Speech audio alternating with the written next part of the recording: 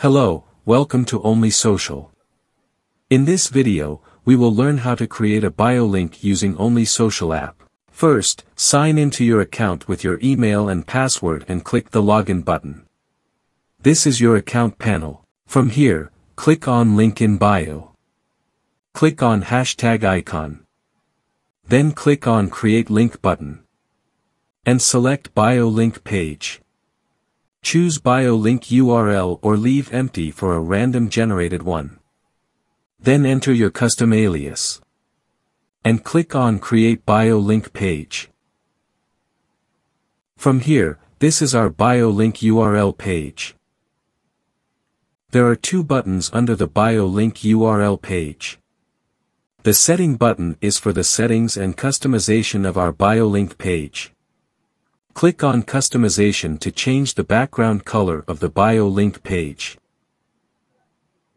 You can also choose a video for the background. It depends on your choice. Let's choose a simple gradient. Click on Verified to reach out to customer support in order to initiate a verification request. Other important settings are branding. For SEO, let's enter our page title and the meta description. For UTM parameter let's set medium as brand awareness, and source as social media. Set fonts type and size based on your preference. Leave the password empty, otherwise setting password would require users to enter a password before accessing the link. Activate sensitive content warning by toggling this button. Click on Advanced menu, click on Create Project to create a separate categories for you project. Our project categories has been created. Let's select our project category that we just created. What is a leap link URL? A leap link empowers you to redirect your visitors to a designated URL of your choice whenever they attempt to access your bio link page. Let's leave it empty. You can also set custom CSS and JavaScript, click on Update and we are done for the settings. From here, click on the second button called Block. Presently, the block contains total 40 types of element, we can select any of these element based on how we want our bio link page to look like. To add element, click on Add Block button, then click on element you want to add. In this case, let's add avatar to our page.